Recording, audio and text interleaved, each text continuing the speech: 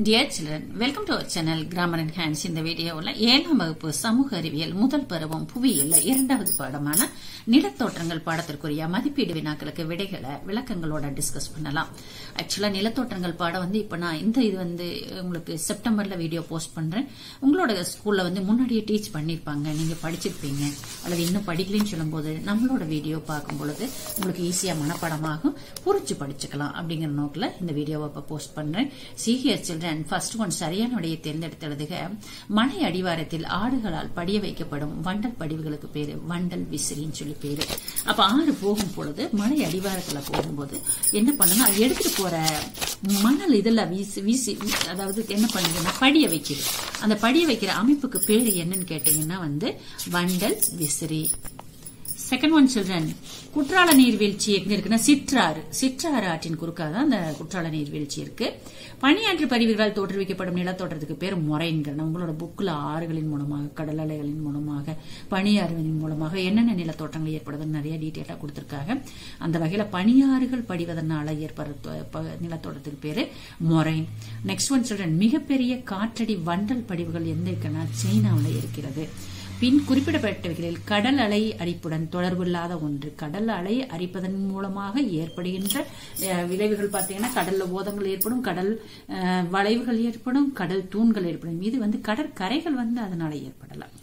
கோடிட்ட இடங்களை நிரப்புக. First question பாறைகள் உடைவதையும் மற்றும் நொறுங்குவதையும் வானிலை சிதைவு வானிலை மாற்றங்களை ஏற்படுகின்ற சிதைவுன்னு சொல்றோம் ஆறு ஏரியில் அல்லது கடலில் சேரும் இடம். ஆறு ஒரு ஆறு போய் ஏரியிலேயோ அல்லது கடல்லையோ சேருது இல்லையா அதுக்கு பேரு ஆற்று முகத்துவாரம் சொல்லி பேரு. காற்று அரிப்பு தனி குன்றுகள் தென்னாப்பிரிக்காவில் களஹாரி பாலைவனத்துல. காற்று போய் அரிச்சு அரிச்சு அரிச்சு அரிச்சு அரிச்சு மலை குன்றுகளா சின்ன சின்ன தனி குன்றுகளா இருக்கிற மாதிரி அமைப்பு எங்க காணப்படுதுன்னா ஆப்பிரிக்கா கண்டகத்துல களஹாரி அப்படின்னு ஒரு பாலைவனம் இருக்கு. அங்க காணப்படுது. நெக்ஸ்ட் ஒன் சொல்றேன். ஜெர்மனியில் காணப்படும் சர்க். அந்த சர்க்குங்கிறது ஒரு அமைப்பு. அதை நம்ம பின்னாடி டூ மார்க்ல பார்க்கலாம். அந்த சர்க்குகள்னு சொல்லுவோம். அந்த ஜெர்மனியில் இருக்கிற சர்க்கு பேர் கார் சர்க் என்னது? கார் சர்க்கு. உலகின் மிக நீளமான கடற்கரை வந்து மியாமி கடற்கரை. ரைட் சில்ட்ரன் அண்ட் பொறுத்துக பாறை உடைதல் மற்றும் நொறுங்குதலுக்கு என்ன பேருனா பாறை சிதைவுகள். கைவிடப்பட்ட மியாண்டர் வளைவுகள் குதிரை குழம்பு ஏரியே ஏற்படுகின்றன. அது நம்ம பார்ப்போம். இப்படி யார் இப்படியே போயிட்டு இருக்கோம். திடீர்னு இப்படி வளைஞ்சு போகும். வளைஞ்சு போயிட்டே இருக்கும். ஒரு கட்டத்தில் என்ன ஆகுனா தன்னோட பாதையை நேரம் ஆக்கிரும் அப்ப இந்த இடத்துல மட்டும் ஒரு குதிரை குழம்பு மாதிரிக்கு ஒரு இது இருக்கும். ஏரி. அது வேறு என்னது? குதிரை குழம்பு ஏரின்னு சொல்லி பேரு. நகரும் ஒரு பெரும் பனி குவியலுக்கு என்ன பேருன்னா வந்து பனியாறுகள். பனியாறுன்னு என்ன அர்த்தம்? நிறைய பனி சேர்ந்து குவியல் குவியலா நகர்ந்துகிட்டே போச்சுன்னா அதுக்கு பேரு பனியாறு. அண்ட் ஃபோர்த் ஒன் சில்ட்ரன் பிறை வடிவ மணல் குன்றுகள் அதுக்கு பேர் பர்கான்கள். வேம்பநாடு ஏரி எங்க இருக்கு வேம்பநாடு ஏரி காயல். காயல் தோட்டத்துக்கு ஒரு எடுத்துக்காட்டு. அது வந்து வேம்பநாடு ஏரி. அப்ப காயல்னா என்னங்கிறத நம்ம பின்னாடி பார்க்கலாம். அண்ட் ஹியர் சில்ட்ரன் பின்வரும் தகவல்களை கருத்தில் கொண்டு சரியான விடையை குறிப்பிடுக. கூற்று முகத்துவார பகுதியில் ஆறுகளால் டெல்டாக்கள் உருவாக்கப்படுகின்றன. சரி ஆறு கடல் பகுதியை அடையும் போது ஆற்றின் வே ஆமா அப்படியே ஆறு வேகமா போர்ஸா ஓடி ஓடி ஓடி நிலத்துல பாஞ்சு பல்வேறு வகையா கிளையாரா பிரிஞ்சு யூஸ்ஃபுல் யூஸ் பண்ணி நம்ம யூஸ் பண்ணி முடிச்ச பின்னாடி கடைசியில கடல்ல கலக்கும் போது வேகம் கம்மியா போய் சேரும். நிறைய ஆறுகள் கடல் வரைக்குமே போகாது. அப்ப இது கூற்று மற்றும் காரணம் இரண்டும் சரி. கூற்று கடல் வளைவுகள் இறுதியில் கடல் தூண்கள் ஆகின்றன கேட்டிருக்காங்க ரைட்டுக்க கடல் தூண்கள் அலைகளின் படிவுகளால் ஏற்படுகின்றன தவறு. அப்ப கூற்று சரி காரணம் தவறு. கொஸ்டின் ஆன்சர் பார்க்கலாம் சில்ட்ரன் ஃபர்ஸ்ட் கொஸ்டின் அரித்தல் வரையறை நூத்தி எழுபதாவது பக்கம் இருக்குடா. அரித்தல் அப்படின்னா என்ன அப்படின்னு பார்க்கலாம். நூத்தி எழுபதாவது பக்கம் எடுத்துக்கோங்க சில்ட்ரன் எஸ் இங்க இருக்குடா. ரோமன் லெட்டர் ஃபைவ்ல ஃபர்ஸ்ட் கொஸ்டின் நீர் காற்று பனி மற்றும் கடல் அலைகள் என பல வகைப்பட்ட காரணிகளால் புவியின் நிலத்தோற்றங்கள் அடித்து செல்லப்படுவதை அறித்தல். நம்ம நினைச்சுக்கிற தண்ணி தண்ணி தான் வந்து மண் அடிச்சுட்டு போன கிடையவே கிடையாது. காற்று மூலமாகவும் பனி மூலமாகவும் கடல் மூலமாகவும் அந்த புவியினுடைய நிலத்தோற்றங்கள் வந்து அடித்து செல்லப்படுறதுக்கு பேர் தான் என்னது? அறித்தல். ரோமன் லெட்டர் ஃபைவ்ல ஃபர்ஸ்ட் கொஸ்டின் சொல்றாங்க அண்ட் செகண்ட் கொஸ்டின் உட்பாய தேக்கம் என்றால் அது அதே பக்கம் நூற்றி இருபதாவது பக்கமே உட்பாய தேக்கம் இங்க இருக்கு பாருங்க. இங்கே. நீர்வீழ்ச்சியின் கீழ்ப்பகுதியில் குழிவுறுதல் காரணமாக ஏற்படும் பெரும் பள்ளம் உட்பாய தேக்கம் எனப்படுகிறது. நீர்வீழ்ச்சி விழுந்துகிட்டே இருக்குன்னு சொல்லும்போது கீழால ஒரு பெரிய பள்ளம் ஏற்படும். அதுக்கு பேர் என்னது? உட்பாய தேக்கம் ரோமன் லெட்டர் ஃபைவ்ல second question and third question குதிரை குழம்பு ஏரி எவ்வாறு நான் அப்ப சொன்னேன் இல்லையா? அப்புறம் சொல்றேன். குதிரை குழம்பு ஏரி எவ்வாறு உருவாகிறது? நூத்தி எழுபத்தி ஒன்னாவது பக்கம் இருக்கு சொல்லி நீங்க பாருங்க. அதாவது ரோமன் லெட்டர் ஃபைவ்ல தேர்ட் கொஸ்டின் ஆற்று வளைவுகள் ஆற்று வளைவுகள் காணப்படின இங்கே வராது. இங்க இருந்து வரணும். இங்க இருந்து வரணும்டா. ஆற்று வளைவுகளின் இரு பக்கங்களிலும் இங்கே ஆரம்பிக்காதீங்க. ஆற்று வளைவுகளின் இரு பக்கங்களிலும் தொடர்ந்து அரித்தல் மற்றும் படிதல் ஏற்படுவதால் ஆற்று வளைவின் கழுத்து பகுதிகள் நெருங்கி வருகின்றன. நாளடைவில் ஆற்று வளைவு ஆற்றிலிருந்து துண்டிக்கப்பட்டு ஒரு ஏரியாக இங்க படம் போட்டிருக்காங்க பாத்தீங்களா இப்படியே வரும். வந்து வந்து இந்த ரெண்டு பகுதி என்ன ஆகுன்னா நெருங்கி நெருங்கி நெருங்கி வந்து கடைசியில் என்ன ஆகுனா இதோட விட்டு போயிட்டு இது மட்டும் தனியா ஆயிடுது. அப்ப அதுக்கு பேர் என்னது? குதிரை குழம்பு ஏரின்னு சொல்லி ரோமன் லெட்டர் ஃபைவ்ல தேர்ட் கொஸ்டின் போட்டுக்கணும் சொல்றேன் ஃபோர்த் கொஸ்டின் பாத்தீங்கன்னா பனியாற்று அரித்தலினால் ஏற்படும் முதன்மையான நிலத்தல். பனியாறு போய் அரிக்கிறதுனால என்னென்ன நிலத்தோற்றங்கள் ஏற்படுகிறது? நூத்தி எழுபத்தி எட்டுன்னா இங்கேயே எழுதி காமிச்சிட்டேன். சர்க்குகள் அரட்டுகள். சர்க்குகள் அரட்டுகள் யூ வடிவ பள்ளத்தாக்குகள். இந்த மாதிரி அமைப்புகள்லாம் வந்து ஏற்படுகிறது. நெக்ஸ்ட் ஒன் காளான் பாறைகள் பற்றி குறிப்பு வருக. நூத்தி எழுபத்தி மூணாவது பக்கம். காளான் பாறைனா என்னன்னு பாருங்க சொல்ல இங்க இருக்குடா. பாறையினுடைய மேற்பகுதியை விட கீழ்ப்பகுதி சற்று வேகமாக காற்று வேகமாக அரிக்கின்ற காரணத்தினால் அப்பாறையின் மேற்பகுதியாகன்றும் அடிப்பகுதி குறுகலாகவும் காணப்படுகின்றன. இவை காளான் பாறைகள் எனப்படுகின்றன. அதோட முடிச்சுக்கலாம். நான் ஒரு எக்ஸ்ட்ரா இன்ஃபர்மேஷனுக்காக இது வந்து பாலைவனத்துல. பாலைவனத்துல வந்து நல்ல மணல் தானே இருக்கு போய் போய் வந்து பாறை உயரமா இருக்குன்னா ரொம்ப தூரம் மேல காத்தடிக்காது கீழே அப்படியே அடிக்க அடிக்க என்ன ஆகுனா அந்த கீழ்ப்பகுதி ரொம்ப அரிச்சிடும் மேல வந்து அகன்று இருக்குது. பார்த்தா காளான் மாதிரி இருக்கு இல்லையா? அதனால அதுக்கு வந்து காளான் பாறைகள்னு சொல்லி பேரு. நெக்ஸ்ட் மா காயல்கள் என்ன என்றால் என்ன? ஒரு உதாரணம் தருக. நூத்தி எழுபத்தி ஆறாவது பக்கம். நம்ம பார்த்தோம் இல்லையா? பழகிற்கு ஏரி காயல் இங்க இருக்குடா காயல்னா என்னன்னா கடற்கரையிலிருந்து ஒரு பகுதியா ஒரு பகுதியாகவோ அல்லது முற்றிலுமாகவோ பிரிக்கப்பட்ட ஆழம் குறைவான நீர்த்தேக்கம் காயல்கள் அல்லது உப்பங்களி அப்ப எங்க இருக்குது? காயல்கள் அல்லது உப்பங்களி கடற்கரை ஓரத்துல இருக்குது. ஆனா அந்த கடற்கரை கடல்ல இருந்து கொஞ்சம் பிரிக்கப்பட்டிருக்குது. அதுக்கு பேரு தான். எடுத்துக்காட்டு வந்து பழவேற்காடு ஏரி. தமிழ்நாட்டில் இருக்கிற பழவேற்காடு ஏரி வந்து அதுக்கு வந்து எக்ஸாம்பிள் இப்ப காயல்னா என்னன்னு பார்த்துட்டோம் ரைட் சில்ட்ரன் நெக்ஸ்ட் பார்க்கலாமாடா. கிளையாறு மற்றும் துணையாறு அப்படின்னா என்னன்னு கேட்டுக்கிறேன் நூத்தி எழுபதாவது பக்கம். துணையாறுனா வந்து ஒரு நீரோடை அல்லது ஆறு தன் போக்கில் ஒரு முதன்மை ஆற்றுடன் இணைவது. அப்ப இது வந்து என்னன்னு கேட்டீங்கன்னா ஒரு ஒரு ஆறு துணையாறு பாத்தீங்களா? இங்க துணையாரா இந்த படத்துல அழகா கொடுத்துருக்காங்க சொல்றேன் ஏதோ ஒரு ஆறு என்ன பண்ணுதுன்னு கேட்டீங்கன்னா ஒரு ஆறோ ஒரு நீர் ஓடையோ சின்ன ஓடைனா ரொம்ப சின்ன ஆறு. அப்படியே வந்துகிட்டே இருந்து ஒரு கட்டத்துல என்ன இது மெயின் ஆறு. அந்த மெயின் ஆற்றோட இணைஞ்சிருது. அதுக்கு பேரு என்னது? துணையாறு. கிளையாறுனா ஒரு முதன்மை ஆற்றிலிருந்து பிரிந்து செல்லும் ஆறு. அப்ப அந்த முதன்மை ஆறு போய்கிட்டே இருக்கு. சரியாடா. போயிட்டே இருக்கும் பொழுது திடீர்னு இதுல இருந்து சைட தனியா ஒண்ணு பிரிஞ்சு வருதுன்னு சொல்லி சொன்னா அதுக்கு பேர் என்னது? கிளையாறு. நெக்ஸ்ட் வி வடிவ பள்ளத்தாக்கு மற்றும் யூ வடிவ பள்ளத்தாக்கு ரெண்டு பக்கம் குறிச்சுக்கிறோமா? நூத்தி எழுபது நூத்தி எழுபத்தி மூணு. ஞாபகம் வச்சு படிச்சுக்கோங்க. நூத்தி எழுபதுல பாத்தீங்கன்னா ஆற்று நீரானது செங்குத்து சரிவை கொண்ட மலை பிரதேசத்தை அரிப்பதால் அங்கு ஆழமான வி வடிவ பள்ளத்தாக்கு ஏற்படுகிறது. பாத்தீங்களா அப்படி இப்படி கீழே சரணி இந்த மாதிரி விழுகுது.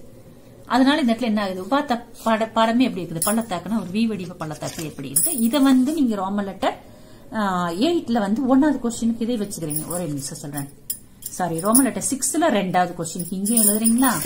அப்புறம் இங்க மறுபடியும் ரோமன் லெட்டர் சிக்ஸ்ல ரெண்டாவது கொஸ்டின் யூ வடிவ பள்ளத்தாக்கு பணியாற்றின் பக்கவாட்டு மற்றும் செங்குத்து அரிப்பினால் ஆழப்படுத்துதல் மற்றும் அகலப்படுத்துதல் மூலம் ஏற்படுகிறது அப்படின்னு சொல்லி சொல்றாங்க. அப்ப அது என்ன ஆகுனா பணியாற்றின் காரணமாக ஏற்படுகிறது யூ வடிவ பள்ளத்தாக்கு. அந்த பனியாறு வந்து அகலப்படுத்துதல் மூலமாகவும் ஆழப்படுத்துதல் மூலமாகவும் அந்த அதாவது யூ பழத்தாக்கு பள்ளத்தாக்கு ஏற்படுகிறது. ஹியர் சில்ட்ரன் கண்ட பனியாறு மற்றும் மழை பனியாறுனா என்னன்னு கேட்டிருக்காங்க. அதுக்குரிய ஆன்சர் வந்து சில்ட்ரன் இங்க இருக்கு. அதாவது நூத்தி எழுபத்தி ரெண்டு பின்னாடி போட்டுக்கோங்க. கண்டப்பனியாறுனா கண்டப்பனியாற்றில் பெரும் பரப்பில் பரவி காணப்படும் அடர்ந்த பனிப்படலம் கண்டப்பணியாறு எனப்படும். கண்டப்பணி அதாவது நீங்க அந்த வேறுபடுத்துன்னு சொன்னா இந்த கொஸ்டின் நீங்க என்ன பண்ணுங்கன்னு தெரியுமா சொல்றேன். ஒரு டேபிள் மாதிரிக்கு போட்டுக்கோங்க சொல்ல ஒரு ஒரு எக்ஸாம்பிளுக்கு இந்த மாதிரி இப்படி போட்டுக்கலாம் இந்த மாதிரி போட்டுட்டு இந்த பக்கம் நீங்க கண்டப்பணியாறு இந்த பக்கம் மலைப்பணியாறுன்னு போட்டு ஒரு கட்டம் போட்டுக்கோங்க. போட்டு என்ன பண்றீங்கன்னா சில்ட்ரன் ஃபர்ஸ்ட் கண்ட கண்ட பகுதியில் பெரும் பரப்பில் பரவி காணப்படும் அடர்ந்த பனிப்படலம் கண்டப்பணியாறு எனப்படுகிறது. இந்த பக்கம் எழுதிக்கிங்க. சரியா?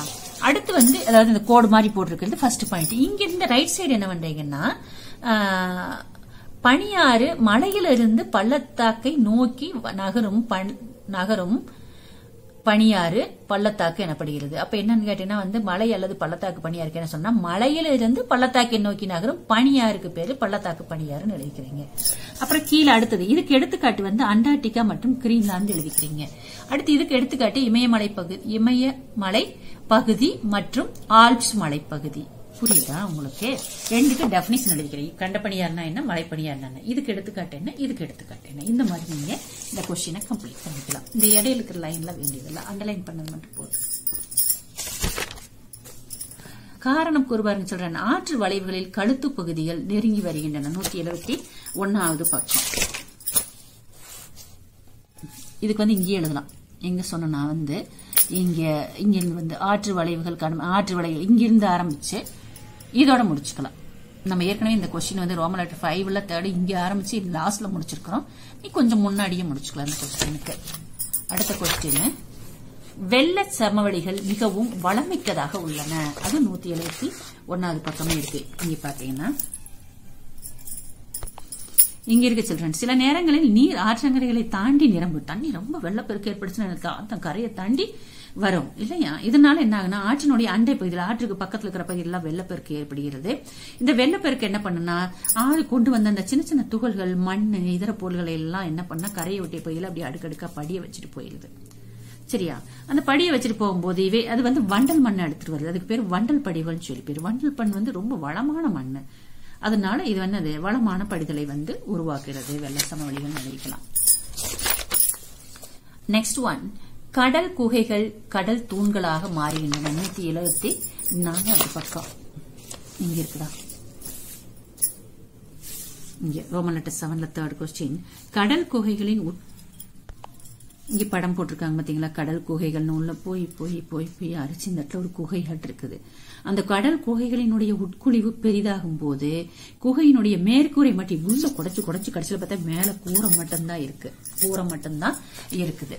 அப்ப அந்த கூரை மட்டும் தோற்றுவிக்கப்படும் போது மேலும் கடல் கு- கடல் அலைகள் மேற்கூரையை அரிப்பதால் பக்க சுவர்கள் மட்டும் மே கடைசியில் மேற்கூரையும் போயிடுச்சுன்னா இந்த பக்க சுவர்கள் மட்டும்தான் வந்து நிக்குது. அது மாதிரி பார்த்தா ஒரு தூண் மாதிரி இருக்கிறதுனால அது வந்து கடல் தூண்கள் என படுகின்றன அப்படின்னு சொல்லி எழுதிக்கலாம். நெக்ஸ்ட் ஒன் பத்து டீட்டெயில் கொஸ்டின் சொல்றேன். ஆற்றின் அரிப்பால் தோன்றும் வேறுபட்ட நிலத்தோற்றங்களை கூறுக. நூத்தி எழுபத்தி எழுபதாம் பக்கம் நூத்தி எழுபத்தி ஒன்னாம் பக்கம் ரெண்டு பக்கமே அதாவது குறிச்சிருக்கிறோம். இப்ப இங்க ஆரம்பிக்கிறோம். ஆறுன்னு சொல்லும் பொழுது ரோமன் லெட்டர் எயிட்ல ஒன்னு இங்கே ஆரம்பிக்கிறேன் சொல்றேன். இங்க ஆரம்பிச்சுடா இங்க முடிக்கிறோம். அப்ப நம்ம இவ்வளவு பெரிய கொஸ்டின் நீங்க யோசிக்காதீங்க. இந்த இந்த என்னென்ன நீங்க படிச்சிருக்கிறீங்களோ இதுக்குள்ள வந்து குறிச்சிருக்கிறோம் இல்லையா? இதுகளை மட்டும் நீங்க எழுதுங்க. இதுல எத்தனை கொஸ்டின்ஸ் வந்திருக்குதோ அந்த கொஸ்டின்ஸ்க்குரிய ஆன்சரை மட்டும் எழுதுங்க. இந்த படத்தை உங்களுக்கு சொல்லலாம் போல இருக்கு சில்ட்ரன். சீஹியர் இந்த இடத்துல ஆறு மலையில அப்படி தோன்றுதுடா. தோன்றி அந்த மலையிலிருந்து செங்குத்தா கீழே விழுகிறதுக்கு பேரு நீர்வீழ்ச்சி. அது அப்படியே வந்துட்டு இருக்கும்போது ஒரு துணையாறு வந்து இது கூட ஜாயிண்ட் ஆகுது. இது இப்படி போய் வளைஞ்சு இது கட் ஆயிடுச்சுன்னா இந்த இடத்துல என்ன ஆகுது குதிரை குழம்பு ஏறி ஏற்படுகிறது. இந்த இடத்துல ஆறு வளைவு வருகிறது. அப்ப இந்த இடத்துல மண்ணெல்லாம் சம படி வச்சனால வெள்ள சமவெளி ஆகுது. அந்த ஆறு கடல்ல கடக்கிற இடத்துக்கு பேர் ஆற்று முகத்வாரம் சொல்லி நம்ம இதுல ஏற்கனவே பார்த்தோமே ஒன் மார்க் கொஸ்டின்ல நெக்ஸ்ட் கொஸ்டின் காற்றின் செயல்களால் ஏற்படும் நிலத்தோற்றங்கள். இப்ப ஆறு பார்த்தோம் இல்லையா? அது மாதிரி காற்றுனால என்ன ஏற்படுகிறதுன்னா நூத்தி எழுபத்தி மூணாவது பக்கமும் நூத்தி எழுபத்தி நாலாவது பக்கம் இங்க இருக்குவாங்க ரோமன் லெட்டர் எயிட்ல வந்து செகண்ட் கொஸ்டின் ரோமன் இதை ஏற்கனவே நம்ம ரோமன் லெட்டர் ஃபைவ்ல பிப்த் கொஸ்டின் ஆரம்பிச்சிருக்கிறோம். இங்கேயே ரோமன் லெட்டர் எயிட்ல செகண்ட் கொஸ்டின் ஆரம்பிச்சுன்னா காற்றுனால என்ன ஏற்படுகிறதுன்னு சொல்லி இந்த ப- இதுகள்லாம் போட்டுக்கிறோம். இங்கேயே முடிஞ்சிருது. சரியா? முடிஞ்சா இந்த அதோட முடிச்சுக்கலாம். அடுத்த கொஸ்டின் அரட்டுகள் எவ்வாறு தோன்றுகின்றன? நூத்தி எழுபத்தி ரெண்டாவது பக்கம். இங்க ரோமல லெட்டர் எயிட்ல தேர்ட் கொஸ்டின் இது என்ன தங்க? இதுல இருந்து இது வரைக்கும் இருக்குது. நீங்க அவ்வளவு எழுத வேண்டாம். இதுல இருந்து இது வரைக்கும் எழுதிட்டு இதுல இருந்து இது வரைக்கும் மட்டும் எழுதுங்க. அதுவே உங்களுக்கு கரெக்டா இருக்கும். இங்க இயற்கை செயல்கள். இந்த இயற்கை செயல்களால ஏற்படுற நிலத்தோற்றம் அரிப்புனால ஏற்படுகிறது எது படிய வைத்தனால ஏற்படும் இங்க ஒரு லிஸ்ட் கொடுத்துருக்காங்க. இது எதுன்னு ஆறுனால ஏற்படுகிறது பனியாறுனால ஏற்படுகிறது காற்றுனால ஏற்படுகிறது கடல் அலை ஏற்படுகிறதுன்னு கண்டுபிடிக்கணும். அதுலயே எது அரித்தலின் செயலால எது? இப்ப வந்து ஆறு அரிக்கிறது மூலமாக வீவடிவ பள்ளத்தாக்கும் படிய வைக்கிறது மூலமாக வண்டல் விசிறி. நம்ம பார்த்தோம் இல்லையா மலை அடிவாரத்தில் படிய வச்சு அது வண்டல் விசிறின்னு பார்த்தோம் இல்லையா?